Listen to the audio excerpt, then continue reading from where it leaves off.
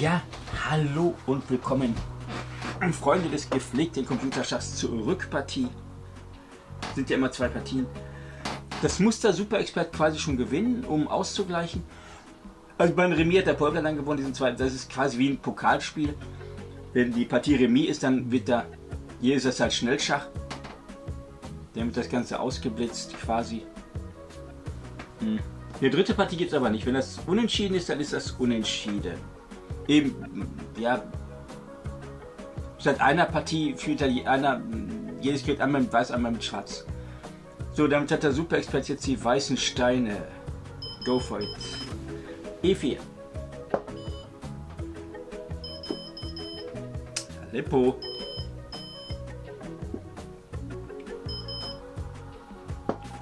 Springer F3, ich dachte schon erst hier, vielleicht Königsgambit.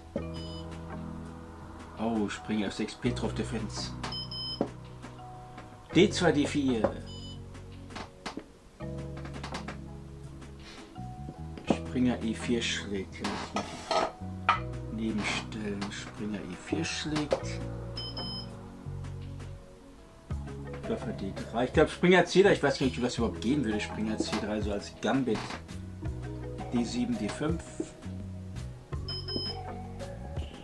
Springer E5 schlägt.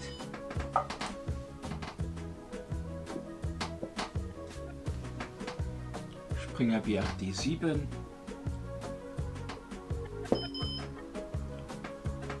Dabei merkt schon, dass die Öffnungsbibliothek der Super-Experten ein bisschen größer ist. Da muss nämlich, das dauert immer so klein wenig, bis er die Theoriezüge macht. Das ist bei Vancouver ab und zu auch der Fall. durch die große Bibliothek, aber jetzt ist er draußen aus dem Buch. Springer die 7 schlägt, kann man das machen und dann rochieren. F2, F4, ich weiß nicht, kann man auch F6 ziehen.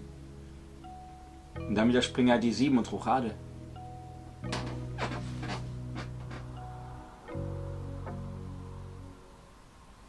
Hm. Kann das ja mal ölen. Und das funktioniert. Ich glaube nicht, dass es deswegen quietscht.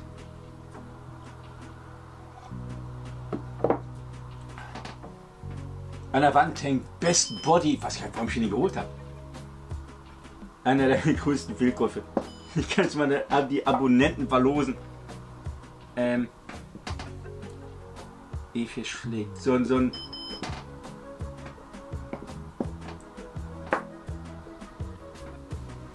So ein Fitnessgürtel, sowas das. Wenn man da so, ein Gewicht das Gewicht ist zu, zu schwer, um den Rücken zu stabilisieren, so ein blauer Gürtel hier so ein breites Teil, das kann man diese umschnallen, an die, an die Handel heben. Hängt da gut. Kann ich das Ding sogar verschenken? Was weiß ich, was will ich damit?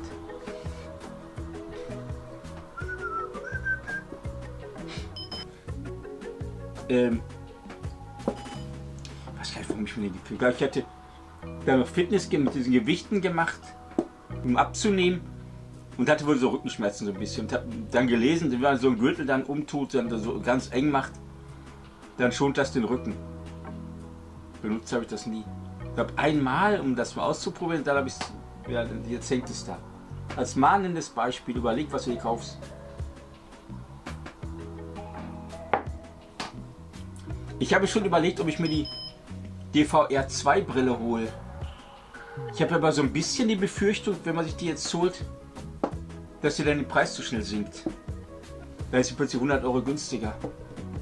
Ja, 580 Euro kostet das Teil. Gut, man hat die beiden Controller sind dabei. Meinetwegen 180 für die Controller und um, um, um 400 für die Brille. Das ist auch nicht gerade wenig.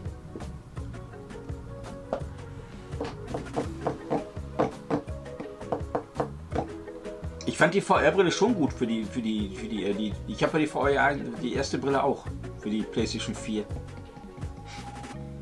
Das Problem war nur, da waren so Leuchtelemente dran an der PlayStation VR-Brille für die PS4. Hm. Die mussten von der Kamera immer erfasst werden, um zu wissen, wo man im Raum steht.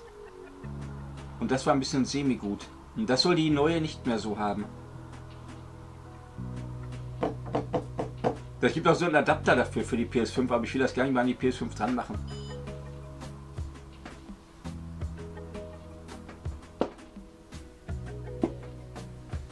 Fand das so spannend. Aber da muss halt schon eine gute Auflösung haben. Sich 360 Grad Videos ansehen mit der, der VR-Brille. Dass man die quasi so frei umsehen kann.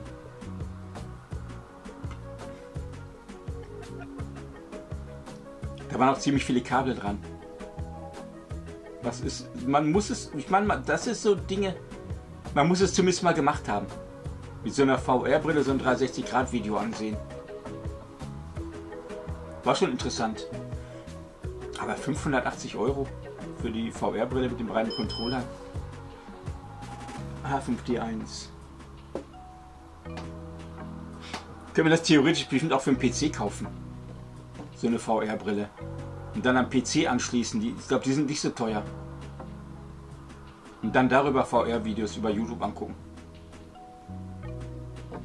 Die die Videos natürlich nur die YouTube-Videos angucken. Das wäre am PC der Vorteil.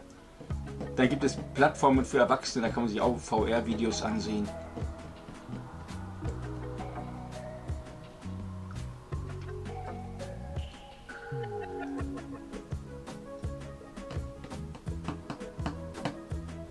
Ist überhaupt dran hier? Der Polger ist dran.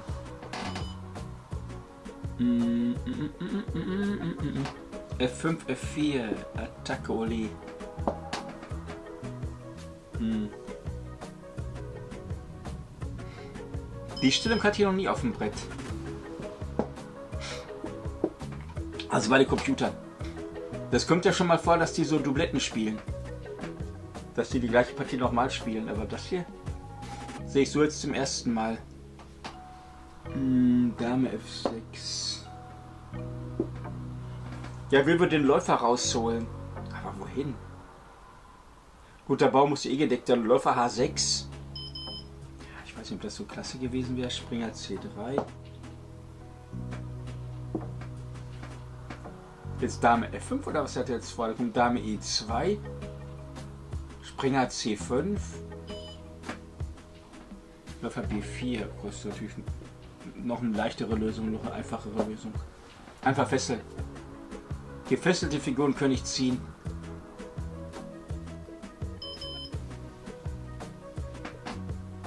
Läufer D2, was soll er jetzt machen? Nehmen kann er nicht auf C3. Wegen Läufer steht und dann hier ist der Spieß zum Turm. Dame D4. Ja, greift den Springer an. Auf F4 kann er natürlich nicht nehmen, wegen, allein schon wegen Dame C4 schlägt.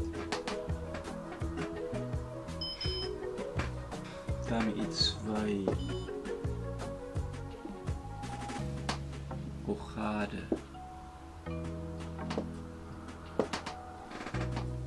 Also Dame E4 schlägt geht ja nicht. Könnt ihr mal gucken, was ihr auf Dame E4 schlägt machen würdet. Obwohl Dame E4 schlägt, auf C3 schlägt, Dame E6 Schach. Natürlich muss er ziehen und dann auf C3 wieder nehmen. Ähm Der Lippo schlägt schon wieder ein. Dudeli, dudeli, ladeli, doi. Mann, Mann, Mann.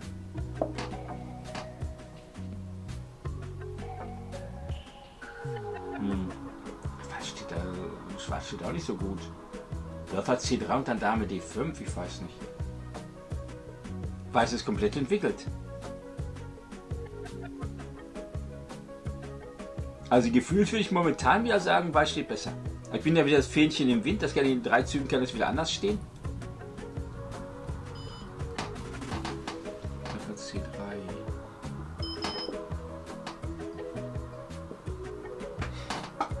Also das müssen wir überlegen. Ich muss mal gucken, was wir für PC-Brillen nehmen.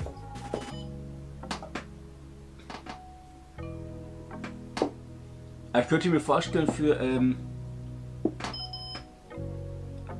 Dame E4. Sie ist aber sehr einig hier mit den Zügen. Ähm, ähm, Dame F2 schlägt. Schlägst du einen Bauern, wirst du es bedauern. Ähm, da war die Betonung falsch. Es müsste erstens schlägst du einen Bauern, wirst du es bedauern. Lepo, Achtung. Goethe hat mich, mich erschlagen. Was mit G2, G3? Dame H2, Turm F4. Das sieht alleine wegen der Diagonale schon so sehr bedenklich zumindest aus. Also die C3 nach H8, diese Diagonale. Ich könnte mir vorstellen, die Partie dauert auch nicht mehr lange. Und jetzt G2, G3 zum Beispiel. Die Dame angreifen, wenn die Dame auf H2 und auf F4 nehmen und dann deckt man den Turm auf F7. Das ist offen wie ein Scheunentor, das ist das Problem. Ähm, der ist pleite. Tipp mal, Turm schlägt ähm, F4. Wie willst du den entdecken, den Turm? Turm F4 schlägt, Springer E5 meinetwegen, also diesem Gag oder was weiß ich. Dann Dame E5 schlägt und dann droht es schon auf H8 das Matt, das ist ohne Ende. Da, Turm H1. Okay. Ja, Dame G2, Turm DG1. Bei Turm H7, ja doch, Turm H7 schlägt würde dann auch gehen. Dame beiseite, Turm H7, König H7, Dame F7. Ich dachte, er Turm F4 schlägt. Was hat denn dagegen gesprochen? Turm F4 schlägt. Ha. Also Turm A7, König, Dame F7. Und dann hat er kein Turm H1 Schach. Ach, er, kann, er muss dann nach H6 ziehen. Hm. Ich glaube, so ein Läufer gehört nach G7. Du kannst dich im Fianchetto machen, die, die Stellung so aufziehen und dann den Läufer auf B, nach B4 ziehen. Das war, glaube ich, schon, schon das, was hier pleite ging. Was ist hier da?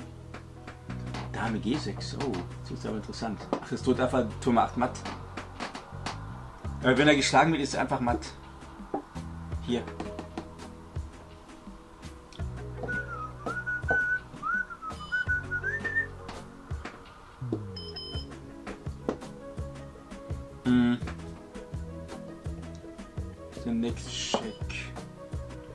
Oh, sagt der Matt dann? Doch, ich dachte schon.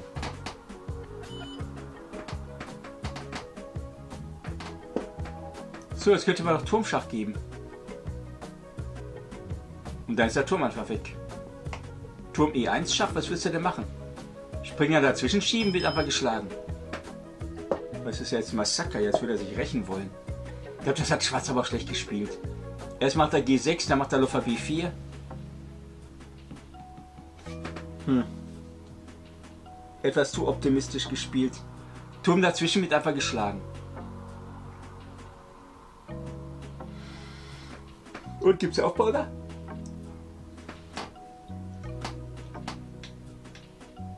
Minus 9,99.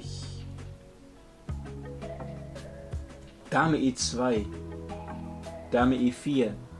Ja, aber guckt schon den Turm D, König D8. Oh, matt in 6. Wow. Das lassen wir uns doch zeigen. Matt in 5, sagt der Super-Expert jetzt an.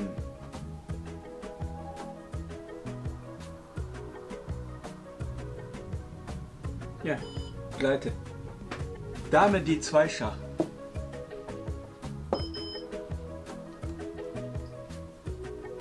Das sind so Züge, die machen nur Computer. Man würde, unser eins würde doch mehr darauf hoffen, dass, ja, das ist natürlich der Zugpleite. Aber bei einer schwierigeren, schwierigeren Stellung, wenn man wegen Matt in 7 ist, dann würde man nicht auf die Idee kommen, die Puppen dazwischen zu schieben. Man würde irgendwie ein bisschen hoffen, dass, dass der Gegner es wohl doch nicht sieht. C6. Für den Bauern vor. Ähm. Matt in 2. Ja, die den Zug nicht. Ach, mit dem Bauern. Der Bauern Matt ist ja nicht.